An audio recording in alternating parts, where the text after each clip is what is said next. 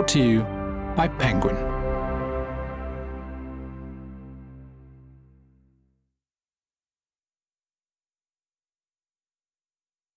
Alice is Missing by Howard Linskey. Read by Kirsty Dillon and Chelsea Halfpenny. You had to wear gloves always, otherwise, they would catch you. The sender knew that.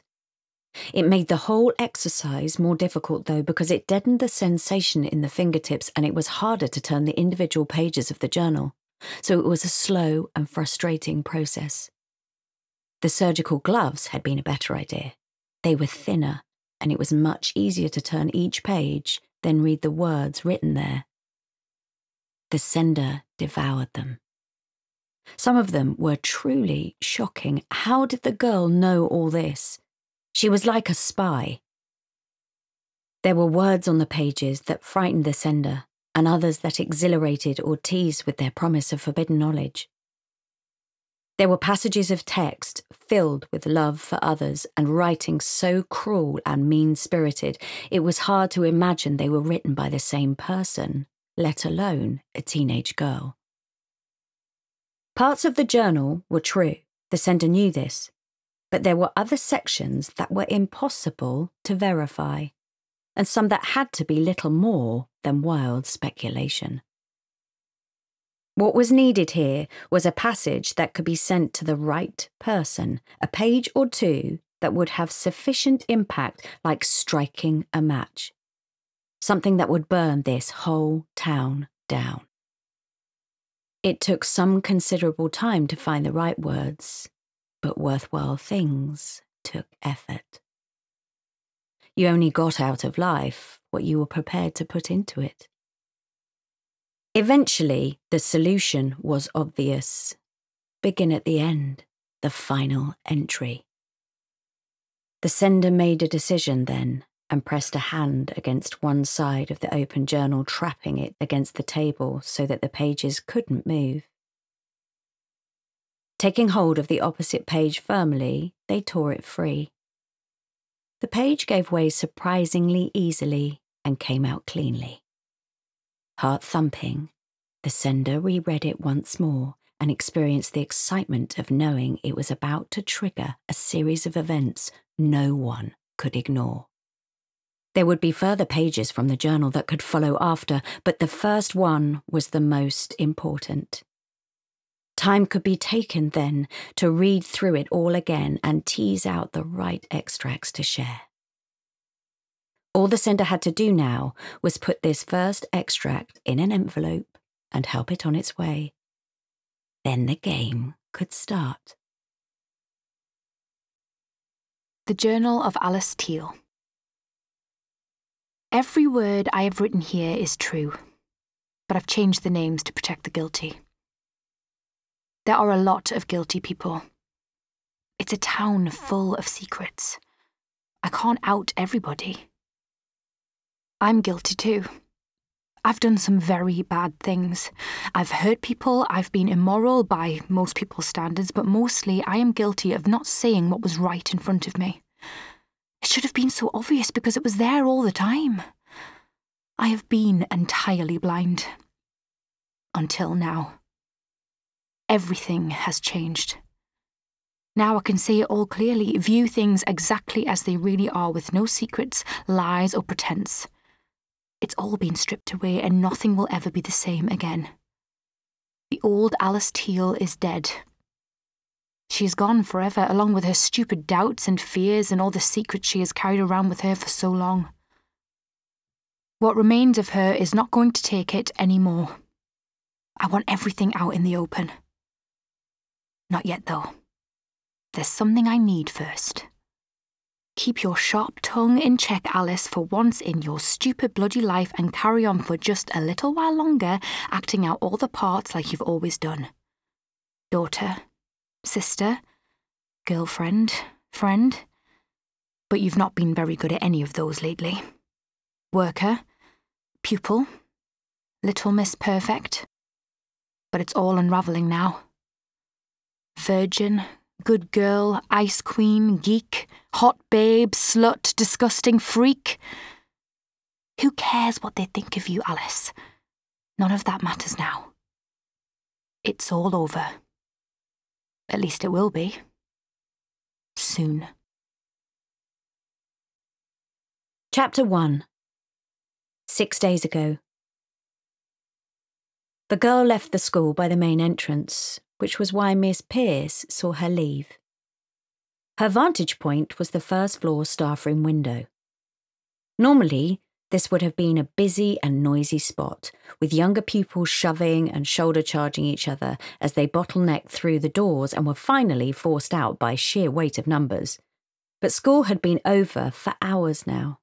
Only a handful of kids remained, finishing off the numerous sporting activities and after school clubs Columby Comprehensive School had become known for under its strict but progressive head teacher, he believed that education was not confined to regular school hours or mere academic qualifications. We are not only training young people to pass exams, he would remind his staff earnestly, we are preparing them for life. Was it still a bit late for a kid to be leaving, even if she was a sixth former? It was quite light, with the summer almost here, a little more than a month to go before they broke up for six glorious weeks of holiday. The PE teacher glanced at her watch. Almost nine o'clock. The activities she presided over had finished half an hour ago. She had only stayed behind herself because she knew she'd never make it to the bus stop in time and couldn't face standing there for an hour waiting for the next one. She'd gone up to the empty staff room, flicked on the kettle, and phoned Rob, her fiance, to ask if he could come and pick her up. He hadn't sounded too happy about that. I'm tired too, Jessica, he told her. It's been a long day. But he'd eventually agreed to drive out and get her, albeit with bad grace. He must have taken his time leaving their flat, because there was still no sign of him, she had drunk most of her tea. Jessica Pierce watched the road from the big window to make sure she didn't miss him. As she waited, she remembered the promise he had made when they first got together. I would do anything for you, he reassured her anything.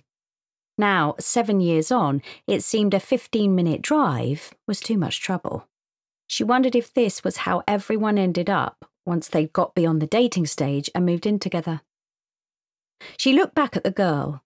You could tell it was Alice Teale, even from the back and this vantage point. The sixth former was a distinctive figure with her trademark hooded Oasis style green parka and floppy red shoulder bag. Alice Teale was a girl you would notice, even when you were a straight woman like Jessica. The boys certainly noticed Alice. They were queuing up for her. The girl's face was ridiculously pretty, and she had an almost equine grace about her when she walked, though, just as she thought that, Jessica noticed the teenager stumble slightly, possibly under the weight of the bag. Further thoughts on Alice Teale were broken by the sight of two cars that passed each other. One of them was driven by Simon Nash, the young drama teacher. Simon had squeezed his frame into his car and pulled out of the car park, then driven away towards the town, just as Rob suddenly appeared, heading in the opposite direction towards the school in his silver Fiat, which he slowed almost to a halt before guiding it across the road and in through the entrance to the school car park. Jessica Pierce bent to grab her bag. She turned back to the window in time to see Rob walking onto the long, straight path that led to the school, just as Alice Teale reached the far end of it. They might have collided with each other if he hadn't have stepped out of her way. Silly girl had her head down and probably wasn't looking where she was going. Jessica Pierce waved then, and Rob looked up, caught her eye, but did not return the wave. Instead, he stopped in his tracks, so she knew he had no intention of wasting any more time by walking into the building. In her haste to meet him, she forgot all about Alice, who must have passed between the retirement cottages that lay just beyond the school's boundary, as she could no longer be seen. No one knew it at the time, but that glimpse Miss Pierce had of the sixth former would be the last recorded sighting of the girl before the word went out the next day. Alice Teale was missing. Alice Teale was gone. Chapter 2 DC Beth Winter tried to leave quietly and discreetly without anyone noticing, but it was a forlorn hope. Anne Hudson spotted her as she finished clearing the last items from her desk, dropping them without ceremony into a plastic bag. If only Beth had been a bit quicker, she could have been out of there, avoiding the Inquisition that was heading her way. Anne was a fellow fast tracker from the direct entry scheme, which meant that she, like Beth, had never walked the beat or spent a working day in uniform. Instead, they had both joined the Northumbria Police Force as detectives, trainee ones at any rate, and had endured a two year training programme before finally passing the National Investigators exam. On the face of it, they had something in common. They were female of roughly the same age and background, and both yet to prove themselves on a major case. That's how it worked on direct entry. You had to earn your place investigating minor crimes as part of your probation. That time was coming to an end, and they were both eager to get out and join a squad working on something bigger than burglaries on the industrial estate. There had been three of them to begin with, but Peter Kennedy had already been nabbed by an undermanned DI. He was a good candidate and a nice bloke, but Beth knew she was every bit as good as him and was disappointed, though not surprised, that the only male in their intake had been the first to be snapped up. I heard your news, said Anne. Transferred to DCI Everleigh squad. Well done, you. That last bit was a little too loud, and the smile forced. Thanks. Um, they must be desperate. If Beth thought self deprecation was going to get her off the hook, she was mistaken. I suppose it's only a missing person, Anne said slyly. It could be murder. Beth couldn't help but rise to it. They think. Who does? Everleigh and his people, apparently. Well, they haven't found a body. Not yet, said Beth. You seem to know a lot about it she added, meaning that Anne obviously wanted to be the one added to DCI Everleigh's squad. Anne ignored this. Still, it's good news for you, a chance to shine. You'll be great. Thank you. If you can cope with you know who. The bombshell. There was always going to be one from Anne. This must be it. Sorry? His DS she said, as if A, it was obvious, and B, Beth must have forgotten who this mysterious DS was. Beth thought for a second. How could she answer this in a way that would completely ruin Anne's fun? Pretend she knew who the other girl was referring to and laugh off the man's foibles? If she did, she might run the risk of belatedly learning she was about to work with a serial groper. Alternatively, Beth could ask Anne outright what she was talking about, which would make her seem less than clued up. Mm, never a good look for a detective, especially a new one. Anne would love that. Instead, she went for the middle ground. Which one? she asked. You mean you don't know? replied Anne. She was obviously loving this. Well, let her enjoy her tiny victory. Anne wasn't the one being transferred to a real case. Soon Beth might be on the trail of a murderer, while her mean spirited colleague would be back investigating the industrial estate burglaries. I've only just heard I'm going to be working for Everleigh, Beth said as sweetly as possible. I haven't had time to find out who else is working for him. Call yourself a detective? trilled Anne, and Beth wanted to thump her right there and then, in headquarters and in the face. But she told herself not to react.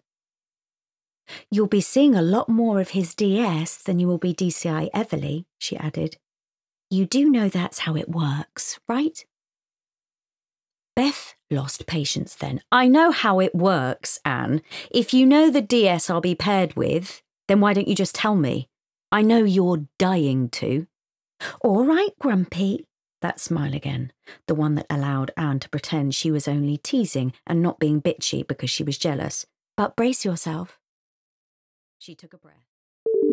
We hope you enjoyed this preview. To continue listening to this audiobook on Google Play Books, use the link in the video description.